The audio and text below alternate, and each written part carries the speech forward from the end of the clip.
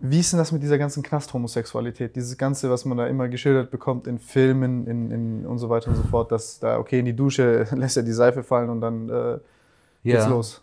Also ich habe es selber nie erlebt, nur der weiß, in, in Gießen war es so, dass, äh, ähm, dass weil da eben auch oft eben die, die äh, Abrechnungen stattfanden, ne, die, die, äh, die Schlägereien stattfanden, dass ein Beamter immer stand und hat sich immer sehr gerne der oberschwule Beamte immer hingestellt und das war äußerst unangenehm, der dann die, die, die, die, die Gefangenen eben anglotzt. Und wir wussten das natürlich alle. Ne? Ähm, aber ich habe es, äh, so was du meinst, habe ich nie erlebt.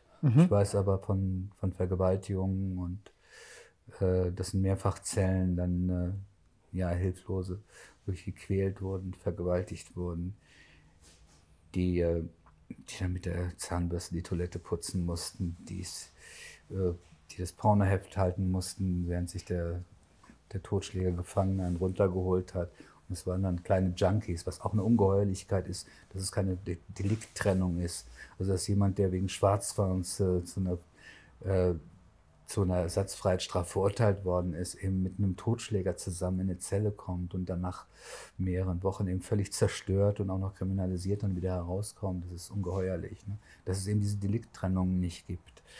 Ich bin auch mit jemandem zusammengelebt worden. Okay, das hat man ganz bewusst gemacht, weil man oh, Sozialpädagoge, der war schwer beschädigt ne? und der war im Gefängnis, weil er, Super. weil er mehrmals äh, ohne Führerschein gefahren ist ne, und war voll auf Medikamenten, aufgedunsen und äh, war psychisch schwer beschädigt. Und ich war, wurde dann, ich war ja der, der, der schwere Bankräuber, aber äh, die haben eben den, den, äh, den, den Menschenfreund in mir gesehen und eben auch den sozialpädagogisch Gebildeten, der sich um ihn kümmern wird, was ich dann zwangsläufig auch machen musste. Ne? Und der mir jeden Tag was vorjammerte, dass er noch drei Wochen vor sich hat und ich hatte noch sieben Jahre vor mir.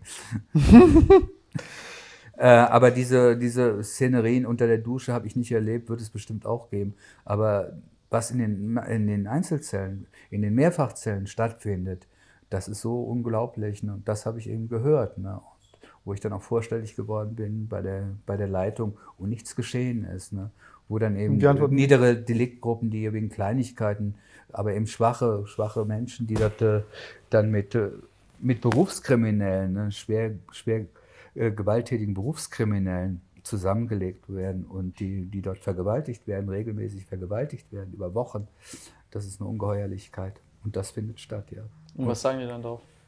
Das findet, das findet statt. Ich, man hört es irgendwann von den Leuten. Ich habe es eben von einem erfahren. Das schreibe ich auch in einem Buch, der am nächsten Tag, der hat eine Ersatzfreiheitsstrafe. Der hat mir das alles erzählt, sein ganzes Leid erklärt, aber das bekommt niemand mit. Weil was in den Zellen stattfindet, das bekommt niemand mit. Die sind, die sind luftdicht verschlossen. Das ist eine riesige Eisentür davor. Und nachts, die, die Wärter sitzen irgendwo auf einem anderen Gang in ihrem Büro und laufen, äh, laufen dann dreimal die Nacht durch, durch das ganze Haus. Und da wagt niemand auf die Not, die funktioniert in Deutschland, die Notklingeln zu gehen, weil dann wäre man total zerstört. Das ist ja das Schlimmste überhaupt, wenn man, wenn man äh, Was sich passiert entgangen wird. Ja, die würden dann völlig, völlig zerschlagen werden, die müssen dann sicherheitsverlegt werden. Also Denunzianten, wenn sie, die arbeiten ja, die Beamten arbeiten, ja mit Denunzianten, die werden dann sicherheitsverlegt, wenn sie aufgeflogen sind. Ne? Mich hat man ja anfangs, um mich zu packen, weil ich bin ja durch viele Gerichtsprozesse gegangen, also die, durch monatelange Indizienprozesse, weil man mich ja nicht fassen Ja, ja, konnte. das ist ja auch.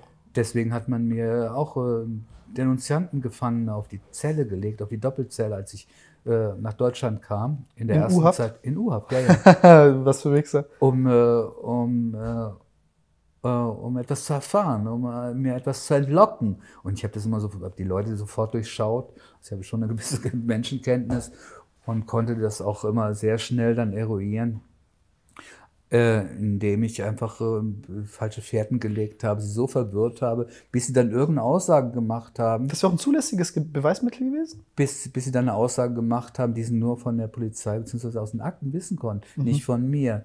Und dann war das immer vollkommen klar, dass es darum ging, äh, dass sie, dass sie auf mich angesetzt waren.